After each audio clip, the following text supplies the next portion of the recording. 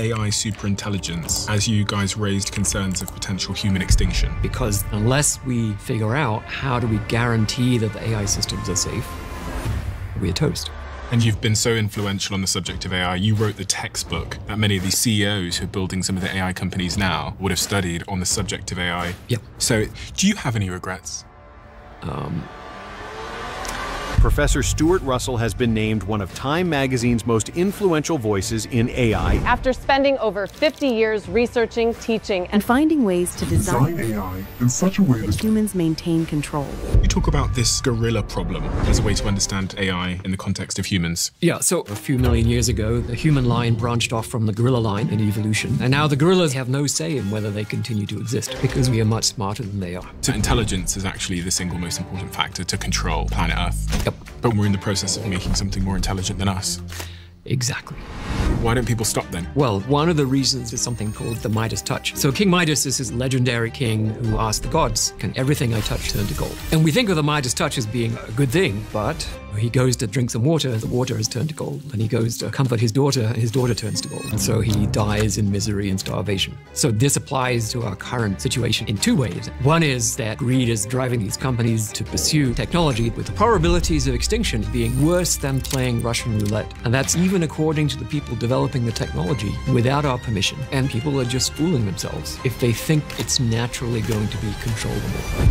So, you know, after 50 years, I could retire, but instead I'm working 80 or 100 hours a week trying to move things in the right direction. So, if you had a button in front of you which would stop all progress in artificial intelligence, would you press it? Not yet. I think there's still a decent chance that guarantees safety, and I can explain more what that is.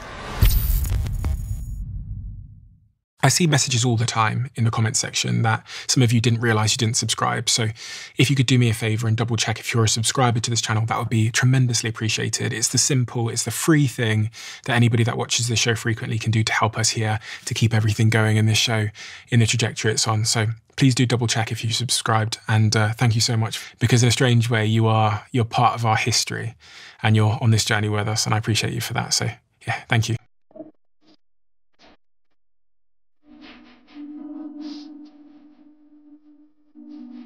Professor Stuart Russell, OBE. A lot of people have been talking about AI for the last couple of years. It appears you've, this really shocked me. It appears you've been talking about AI for most of your life. Well, I started doing AI in high school um, back in England. But then I did my PhD starting in 82 at Stanford. I joined the faculty at Berkeley in 86. So I'm my 40th year as a professor at Berkeley. The main thing that the AI community is familiar with in my work uh, is a textbook that I wrote. Is this the textbook that most students who study AI are likely learning from? Yep. So you wrote the textbook on artificial intelligence 31 years ago.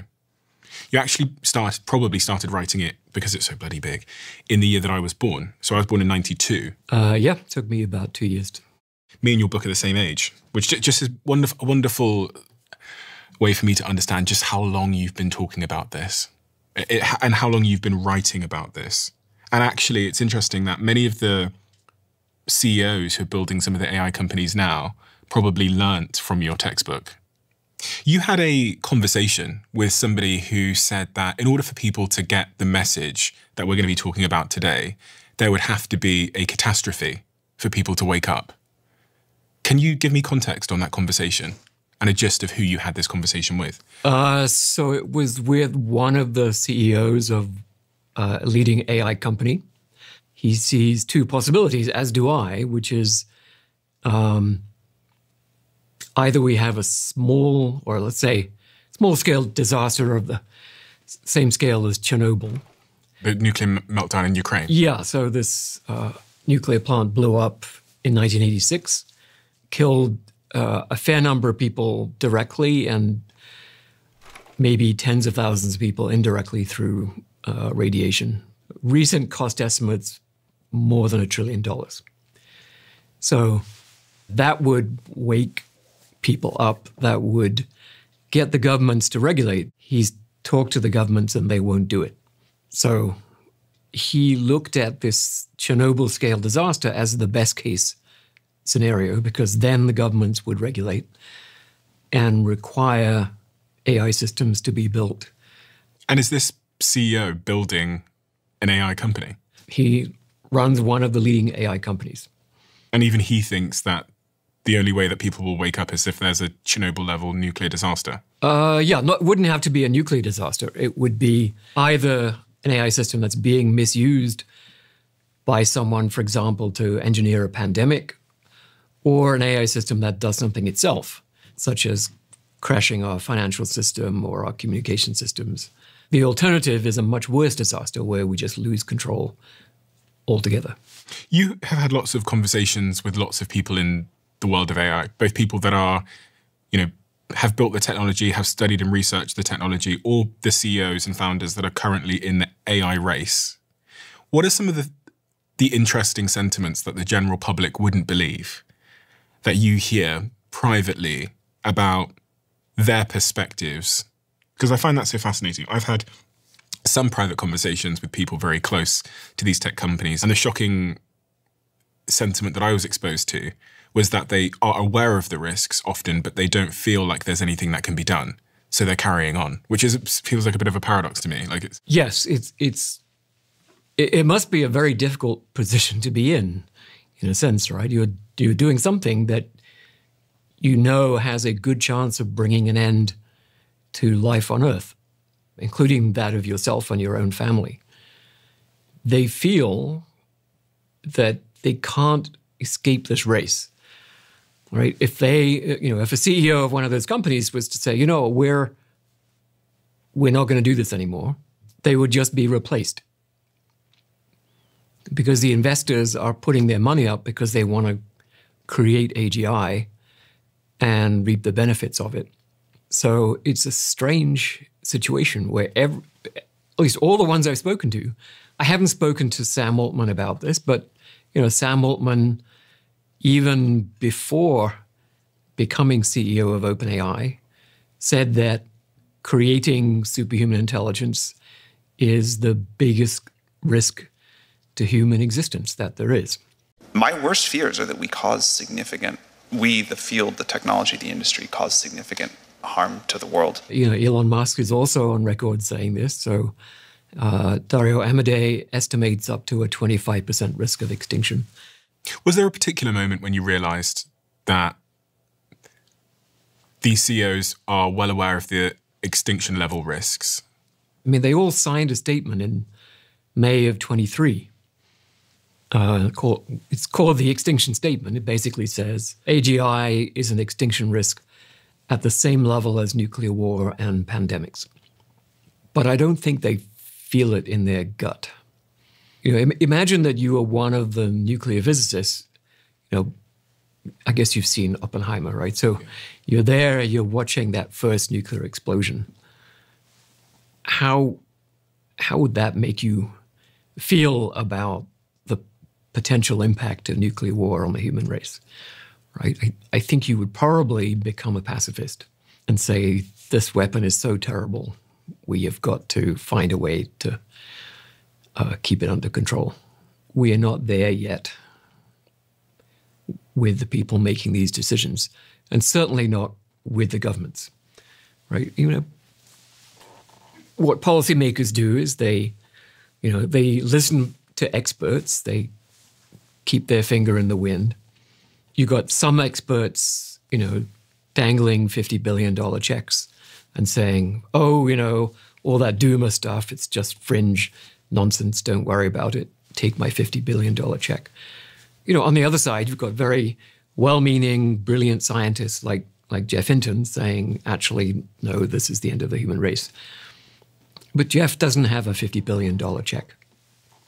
So the view is the only way to stop the race is if governments intervene and say, okay, we don't, we don't want this race to go ahead until we can be sure that it's going ahead in absolute safety.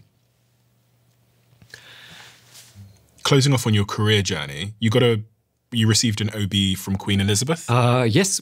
And what was the listed reason for that for the award? Uh, contributions to artificial intelligence research. And you've been listed as a Time magazine most influential person in in AI several years in a row, including this year in 2025. Yep. Now, there's two terms here that are central to the things we're going to discuss. One of them is AI, and the other is AGI. In my muggle in- interpretation of that, it's artificial general intelligence is when the system, the computer, whatever it might be, the technology, has generalized intelligence, which means that it could theoretically see, understand um, the world. It knows everything. It can understand everything in the, the world, as well as, or better than a human being Yep. can do it. And I think take action as well. I mean, so, some people say, oh, you know, AGI doesn't have to have a body, but a good chunk of our intelligence actually is about managing our body, about perceiving the real environment and acting on it, moving, grasping, and so on. So I think that's part of intelligence, and, and AGI systems should be able to operate robots successfully. But there's often a misunderstanding, right? That people say, well, if it doesn't have a robot body, then it can't actually do anything. But then if you remember, most of us don't do things with our bodies. Some people do bricklayers, painters, gardeners, chefs. Um, but people who do podcasts, you're doing it with your mind, right? You're doing it with your ability to, to produce language. Uh, you know, Adolf Hitler didn't do it with his body. He did it by producing language. I hope you're not comparing us. no. but but uh, you know, so even an AGI that has no body, uh, it actually has more access to the human race than Adolf Hitler ever did, because it can send emails and texts to what three quarters of the world's population directly. It can. It also speaks all of their languages and it can devote 24 hours a day to each individual person on earth to convince them of, to do whatever it wants them to do. And our whole society runs now on the internet. I mean, if there's an issue with the internet, everything breaks down in society. Airplanes become grounded, and we'll have ele- uh, electricities running off uh, uh, as internet systems. So, I mean, my entire life it seems to run off the internet now. Yeah, water supplies. So, so this is one of the routes by which AI systems could bring about a medium-sized catastrophe is by basically shutting down our life support systems. Do you believe that at some point in the coming decades, we'll arrive at a point of AGI where these systems are generally intelligent? Uh, yes, I think it's virtually certain, unless something else intervenes, like a nuclear war, or or we may refrain from doing it. But I think it will be extraordinarily difficult uh, for us to refrain. When I look down the list of predictions from the top 10 AI CEOs on when AGI will arrive, you've got Sam Altman, who's the founder of OpenAI slash ChatGPT, um, says before 2030. Demis at DeepMind says 2030 to 2035. Jensen from NVIDIA says around five years. Dario at Anthropic says 2026, 2027. Powerful AI close to AGI. Elon says in the 2020s. Um, and I go down the list of all of them, and they're all saying relatively within five years. I actually think it'll take longer. I don't think you can make a prediction based on engineering um, in the sense that, yes, we could make machines 10 times bigger and 10 times faster, but that's probably not the reason why we don't have AGI, right? In fact, I think we have far more computing power than we need for AGI, maybe a thousand times more than we need. The reason we don't have AGI is because we don't understand how to make it properly. Um, what we've seized upon is one particular technology called the language model. And we observed that as you make language models bigger, they produce text language that's more coherent and sounds more intelligent. And so mostly what's been happening in the last few years is just, okay, let's keep doing that. Because one thing companies are very good at, unlike universities, is spending money. They have spent gargantuan amounts of money, and they're going to spend even more gargantuan amounts of money. I mean, you know, we mentioned nuclear weapons. So the Manhattan Project uh, in World War II to develop nuclear weapons, its budget in 2025 dollars was about 20 odd billion dollars. The budget for AGI is going to be a trillion dollars next year. So 50 times bigger than the Manhattan Project. Humans have a, a remarkable history of figuring things out when they galvanize towards a shared objective. You know, thinking about the, the moon landings or whatever it might, else it might be through history. And the thing that makes this feel all, all, quite inevitable to me is just the sheer volume of money being invested into it. I've never seen anything like it in my life. Well, there's never been anything like this in history. Is this the biggest technology project in human history by orders of magnitude? And there doesn't seem to be anybody that is pausing to ask the questions about safety. It doesn't even, it doesn't even appear that there's room for that in such a race I think that's right. To varying extents, each of these companies has a division that focuses on safety. Does that division have any sway? Can they tell the other divisions, no, you can't release that system? Not really. Um, I think some of the companies do take it more seriously. Anthropic uh, does. I think Google DeepMind.